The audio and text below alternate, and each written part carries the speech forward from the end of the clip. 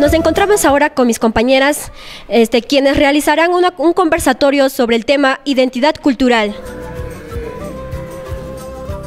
Señores televidentes, en esta tarde las alumnas de la institución educativa Sorana de Los Ángeles estamos reunidas para presentar el conversatorio sobre el tema que es identidad cultural, para lo cual eh, iremos presentando a mis compañeras. Mi nombre es Ruth María Albemerino. Eh, mi nombre es Lisminia Wilcaba Cruz. Mi nombre es Lidia Chávez Alja. Mi nombre es Solán Rivera Gutiérrez. Mi nombre es Esther Magda González Vargas y soy de quinto grado, sección única. Mi nombre es Lisbeth Marta Pecero Cerrato. Bueno, eh, desarrollaremos el tema planteando preguntas con, con las compañeras participantes y empezamos ahora. Nosotros cotidianamente estamos acostumbradas a escuchar los términos identidad, cultura o identidad cultural, para lo cual eh, nosotros ni no le, tomamos ni el menor ni la menor importancia y porque el significado de realmente de esos términos es grande. Y empezaremos con las preguntas para tener una idea más clara sobre qué es identidad cultural. Y empezaremos con las preguntas. ¿Qué es cultura ¿Qué es identidad y qué será identidad cultural, Esther? La cultura se define como rasgos este, instintivos y específicos por los cuales las modalidades de cada persona, las modalidades y pensamientos de cada persona y de cada comunidad. ¿Cuáles son los factores que integran la identidad cultural? Compañera Lidia, ¿podría responder a la siguiente pregunta? Bueno, los factores que integran la identidad cultural eh, es la conciencia es la conciencia histórica que se determina en una sociedad, muchas veces evocando que se desarrolle de generación en generación.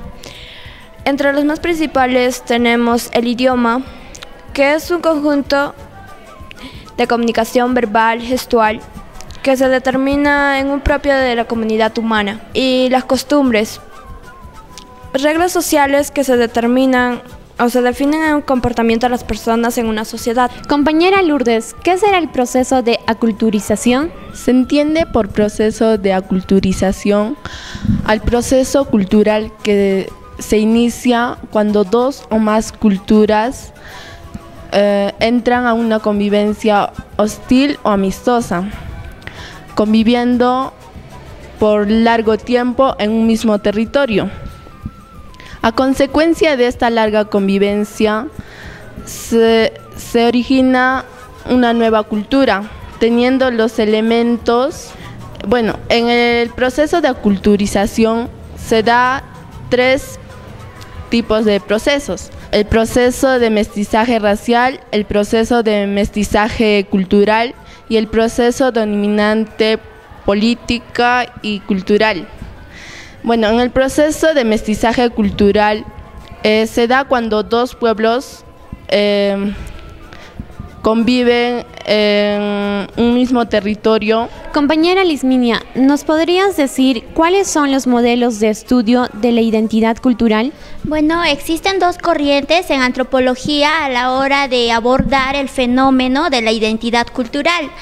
Eh, la primera es la perspectiva esencialista, que estudia los conflictos de identidad como algo inminente y hereditario.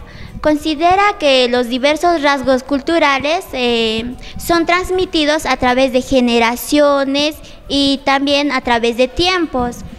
Eh, la segunda es la perspectiva constructiva, que señala que la identidad no es algo eh, que se hereda, sino algo que se construye. Eh, por lo tanto, la identidad no es algo estático, sólido o inmutable, sino que es este, dinámico, maleable y manipulable. Eh, también podemos decir que existen críticas que se pueden hacer a estos modelos. la primera, por ejemplo, es eh, el modelo esencialista, que es que la cultura no es algo que se hereda totalmente, por lo tanto eh, la identidad cultural tampoco es algo que se hereda férrea e inflexiblemente. Eh, si así fuera, todo el mundo lucharía contra todo el mundo. Por, en este caso no es así, sino que la identidad cultural se transforma continuamente. Eh, el segundo es respecto a la perspectiva constructiva. Eh, compañera Ruth, ¿se podrá construir la identidad cultural? La identidad cultural no es un fenómeno que surge a través de la dialectia entre el individuo y la sociedad. La identidad se da a través de la individualización de cada actor o cada persona aunque también pueden haber instituciones dominantes que traten sobre este tema, pero esto se da solo si la persona o el actor lo interioriza y lo construye a su sentido. Por lo tanto, la identidad cultural sí se puede construir. Compañera Marta, ¿por qué es importante la identidad cultural en una sociedad? ¿Por qué la importancia de la identidad cultural en una sociedad? Da sentido y finalidad a la vida y a una sociedad fortalece relaciones entre generaciones, ya sea abuelos, padres e hijos. Establece vínculos entre el pasado, presente y futuro. Revalora formas de vida y manifestaciones de antepasados. Nos acercamos, ya sea como nuestra lengua acá en la sierra, como el quechua y nuestras costumbres o vestimentas. Gracias. Solange, ¿podrías decirnos algo sobre identidad cultural en el Perú? El Perú es un, mm, es un país donde hay diversidad cultural, pero a pesar de eso sigue difundiendo una falta de identidad a causa de los malos programas de televisión, la ausencia de proyectos que inviertan en una difusión de nuestra cultura mm, y hace que pueda desaparecer. Todo eso trae consecuencia a que el peruano olvide sus raíces y adopte costumbres extranjeras o pueda llegar a desaparecer, ah, produciendo un asesinato cultural.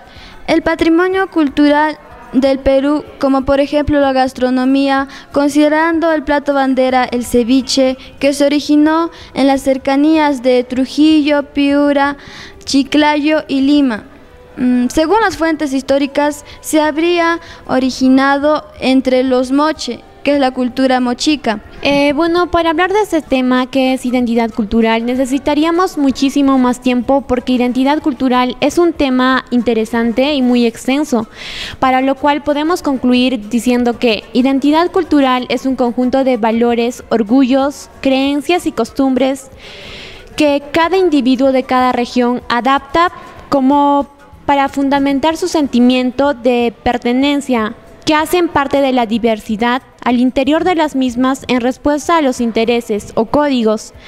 Todos los elementos nos permiten identificarnos, caracterizarnos y mostrar qué tenemos en común o qué diferencias tenemos en, en cuanto a otros lugares. E, pero también hay un problema que está afectando mucho a la identidad cultural, que podría ser la moda o la globalización que que la actualidad está trayendo mucho. La moda en la actualidad está exhortando mucho a la identidad cultural por las modas de las formas de pensar o de actuar de cada persona, que cada persona cree que la moda es una forma de revelarse y que cambia continuamente, pero en realidad no es así. La moda abarca cada una de nuestras partes de nuestras vidas y poco a poco está haciendo que perdamos la identidad cultural en nuestro Perú. Esto fue para el programa Apurima Educa.